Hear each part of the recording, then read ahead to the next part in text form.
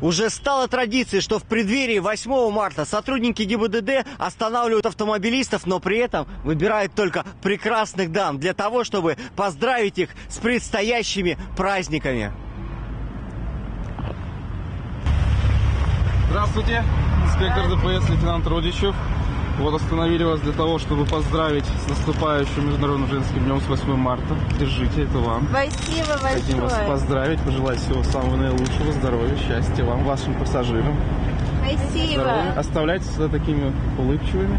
Для многих женщин подобные поздравления оказались неожиданными, но очень приятными, а некоторые не могли удержаться и сделали памятные фотографии с мужчинами в форме. Это очень приятно, когда едешь на дороге, сосредоточен, тут тебя останавливают не того, чтобы документы проверить, а просто поздравить с праздником. Очень приятно. Всех женщин с наступающим праздником. Подобные мероприятия проводятся на территории нашей страны каждый год. Инспекторы признаются, что останавливать женщин-автолюбителей для того, чтобы просто пожелать им хорошего настроения – приятная задача.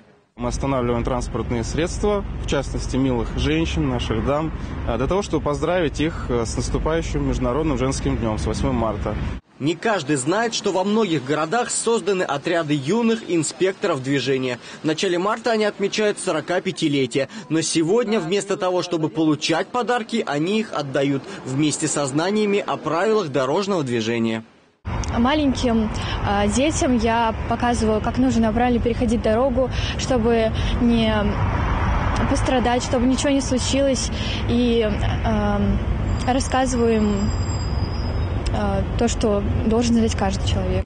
Заложенная несколько лет назад приятная традиция подарит милым женщинам праздничное настроение на все выходные. Алексей Мельников, Николай Карбанов, Елена Кошелева. Видное ТВ.